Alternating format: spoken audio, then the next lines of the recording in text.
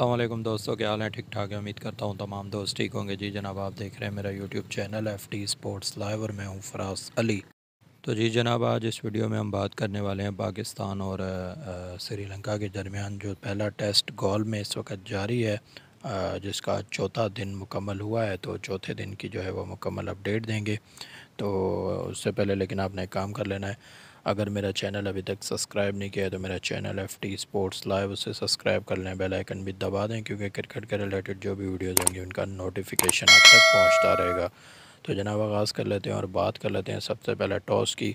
तो टॉस जीता श्रीलंका के कप्तान ने और उन्होंने बैटिंग का फ़ैसला किया। श्रीलंका की पूरी टीम जो है वो 312 रन बना के ऑल आउट होगी जैसे कि मैंने पहले दिन की वीडियो में बताया था।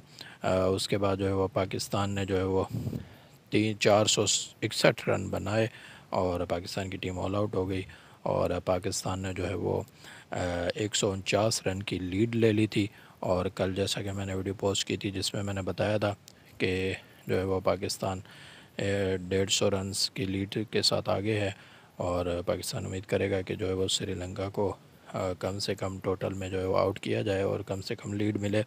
तो कल जो है जब तीसरा दिन ख़त्म हुआ तो श्रीलंका ने जो है वो चौदह रन बना लिए थे और कोई विकेट नहीं गिरी थी। और आज जब दिन का आगाज़ हुआ तो दिन के अख्ताम तक जो वो श्रीलंका की टीम पहले तो आउट हो गई। श्रीलंका ने बनाए दो सौ उनासी रन बनाए और वो ऑल आउट हो गई। पाकिस्तान को जो है वो एक सौ इकतीस रन का टारगेट मिला है। और बात कर लेते हैं श्रीलंका के बैट्समैनों की।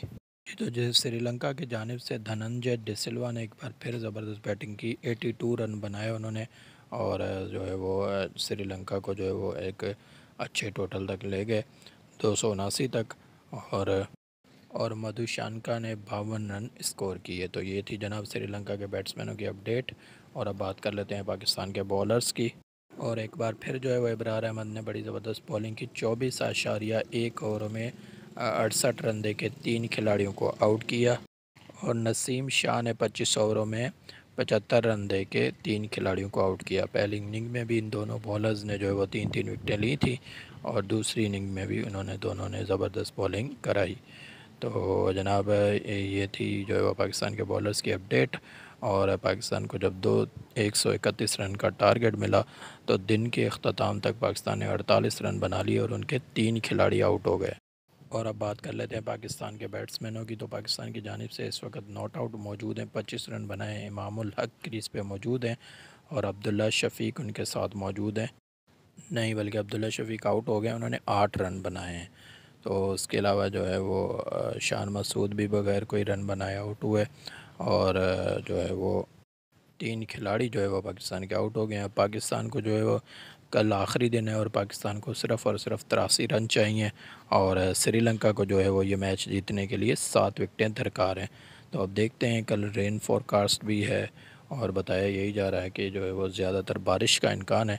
तो देखते हैं कल क्या होता है, क्या कल मैच हो पाता है। अगर मैच होता है तो पाकिस्तान ये तिरासी रन बना पाता है, या श्रीलंका पाकिस्तान को ऑल आउट कर देता है। तो बाकी जो है मैच की मुकम्मल अपडेट वो कल देंगे आपको।